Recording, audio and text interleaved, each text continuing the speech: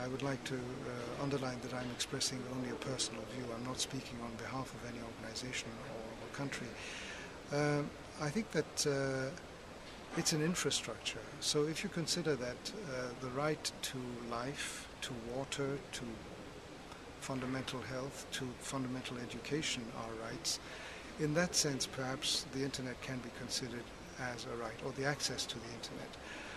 However, it's more complex than that. So I think that uh, uh, it takes countries very advanced, for instance, in Northern Europe, in uh, Finland, for instance, uh, the access to the internet was described recently in law as a right.